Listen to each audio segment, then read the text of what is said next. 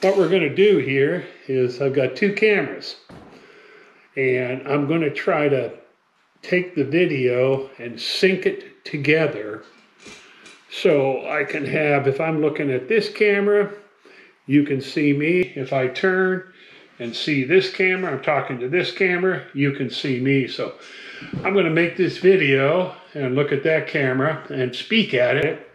Then I want to turn and like I'm talking to this camera to get a little bit of a different angle. And this will be the same if I'm on the motorcycle too. Uh, this could be, for instance, my dash cam. And this one here could be my helmet cam.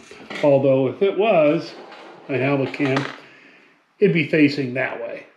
So that's what we're trying to accomplish here and we're just getting some test footage to see how this works and, and help my editing skills is all I'm trying to do.